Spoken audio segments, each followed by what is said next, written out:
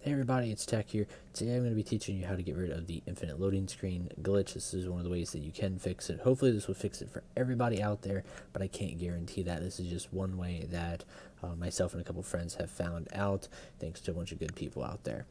So first thing you're to do is you want to save your scenario. Once you have everything done, all your files put down, all your little uh, Zeus and Game Masters and whatnot. You're going to go here, you're going to save as, whether it be uh, MP missions, I'd imagine, because you want other people to join. So we're just going to name it test right there and save.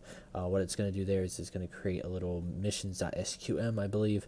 Uh, you'll be able to go to scenario and then show require, not that, sorry, show scenario folder there we go.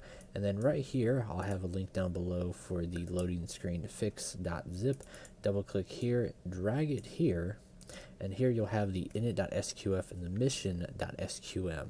Um, once you're there, you're going to go back to your ARMA 3, go back to your Eden editor, hit on scenario, export to multiplayer. And then from there, it should fix everything for you guys. Alright, hopefully this helped. Peace out.